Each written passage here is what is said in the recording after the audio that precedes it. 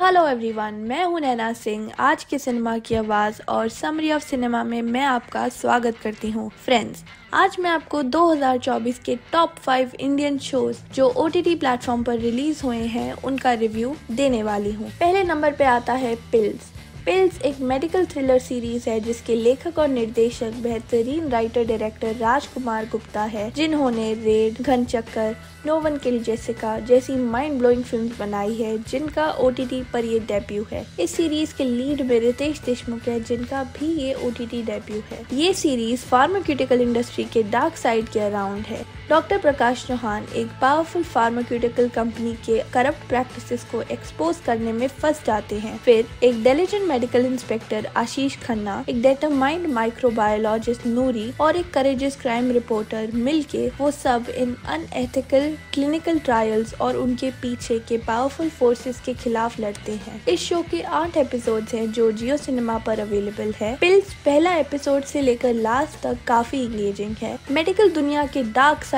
को नरेशन और परफॉर्मेंसेस के थ्रू ब्रिलियंटली एक्सपोज किया गया है और साथ में सारे कैरेक्टर्स टॉप नॉच है। आई पर इसे 8 ऑन 10 रेटिंग मिली है तो इसे देखना तो बनता है। दूसरे नंबर पे आता है Tribhuvan Mishra C A topper on Netflix ये एक एडिशन है अडल्ट कॉमेडी जॉनर में। इस शो का प्रिमाइस काफ़ी अच्छा है और शो के नाइन एपिसोड में कोई क्रिंज वर्थी मोमेंट्स नहीं है। ये स्टोरी एक मिडिल एज आदमी की है जो लाइफ के एक सर्टन पॉइंट पर पैसे की ज़रूरत के लिए मेल प्रोस्टिट्यूट बन जाता है। ये उसका एक ट्रांजैक्शनल डिसीज़न होता है और त्रिभुवन मिश्रा अपनी ज़िंदगी में इस नए इनकम जनरेटिंग काम के साथ आगे बढ़ता जाता है जब तक उसके सामने कोई बड़ी मुश्किल नहीं आ जाती। इस शो को डायरेक्ट किया है मानव कौल और श्वेता बासु प्रसाद ने, जिन्होंने इसे डायरेक्ट करने के साथ साथ कास्ट के तौर पर आउटस्टैंडिंग परफॉर्मेंसेज भी दी है। शो में बेहतरीन एक्टिंग भरपूर मनोरंजन सुपर डायरेक्शन और यूनिकनेस है। लेकिन ये सबको पसंद आए, ऐसा हो नहीं सकता। As it is a sex comedy and लोगों के अलग अलग व्यू पॉइंट्स भी हो सकते हैं। एज दिस इज़ इंडिया तीसरे नंबर पे आता है मामला लीगल है ऑन नेटफ्लिक्स ये एक कॉमेडी सोशल सटायर और ड्रामा का मिक्स है। ये एक ऐसी सीरीज़ है जिसे बिंज वॉच करने की ज़रूरत नहीं है, बल्कि एपिसोड बाय एपिसोड इंजॉय करना चाहिए। ये सीरीज़ लॉयर्स के बारे में है स्पेसिफिकली दिल्ली के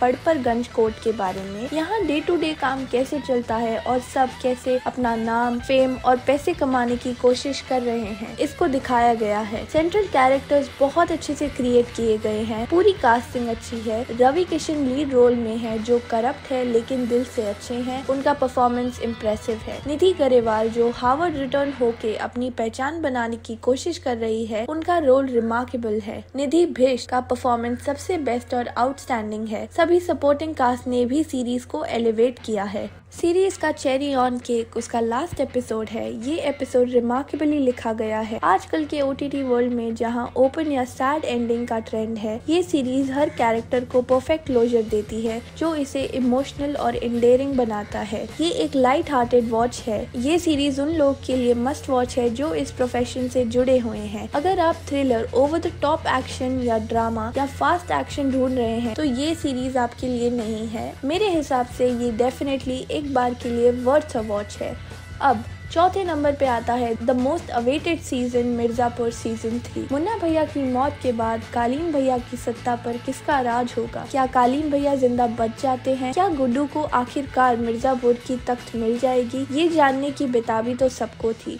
मिर्ज़ापुर का पहला सीज़न 2018 में आया था और अपने पहले सीज़न से ही वो बहुत ही हाइप्ड और पॉपुलर शो बन गया था। तो अगर आप न्यू हैं और आपने मिर्ज़ापुर नहीं देखा तो पहले उसके दो सीजन्स देख लो। उसके बाद watch Mirzapur season three only on Amazon Prime show का एक स्पॉइलर दे देती हूँ कि by the end of the episode आपको ये सीज़न काफ़ी डिसअपॉइंटिंग लगेगा। और अब आखिरी में है a murder in Mahim on Jio cinema ये एक क्राइम थ्रिलर है जिसके एट एपिसोड्स है।